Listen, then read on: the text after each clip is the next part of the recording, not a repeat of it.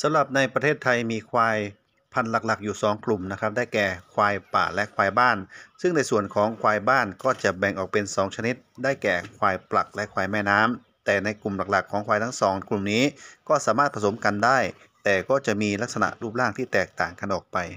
สำหรับตัวนี้จะเป็นควายปลักนะครับ เป็นกลุ่มที่พบมากที่สุดในประเทศไทย ที่เกษตรกร เลี้ยงมานานนะครับเพื่อใช้แรงงานและบริโภคเนื้อ มีนิสัยเชื่อง ชอบนอนแช่ปลักเลี้ยงง่าย กินหญ้าได้หลากหลายชนิด รวมทั้งวัชพืชอื่นได้